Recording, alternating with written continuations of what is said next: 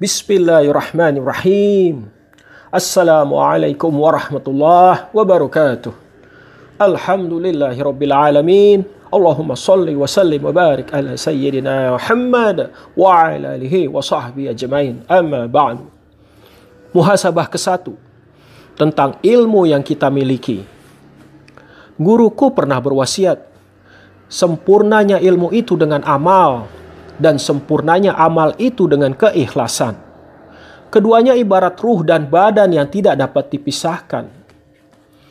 Ilmu itu hujah atas dirimu, maka tidak ada alasan bagimu untuk tidak mengamalkannya sebelum hilang keberkahannya, menguap pula syafaatnya yang diperuntukkan untukmu dari sang empunya ilmu itu. Lalu terputuslah keterkaitannya denganmu dalam segala keperluanmu. Jika engkau tidak melakukannya, maka yang tertinggal dari ilmu itu hanya kulitnya saja. Karena sesungguhnya saripati ilmu itu adalah amalannya.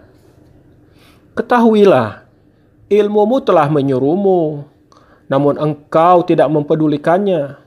Engkau malah asyik dengan dirimu sendiri, sebab engkau sudah tidak mendengarnya dengan hatimu. Dengarlah seruan ilmu itu dengan telinga hatimu dan batinmu yang jernih. Amalkanlah ilmu itu dengan keikhlasan. Niscaya keberkahan akan menyelimutimu. Engkau tidak berhak mengaku hamba Allah Ta'ala dan umat Rasulullah Sallallahu Alaihi Wasallam kecuali engkau mengamalkan apa yang telah diperintahkan untukmu. Jika engkau mengamalkannya, barulah hati dan batinmu akan menyambutnya lalu amalanmu itu akan membawa keduanya kepada Allah Azza wa Jalla. Ilmu yang diamalkan itu akan mendekatkanmu ke alam tempat dari mana ilmu itu berasal. Seandainya saja engkau memiliki satu macam cabang ilmu dan lalu engkau amalkan dengan cara seperti ini, maka serta-merta akan muncul cabang ilmu yang kedua dan seterusnya.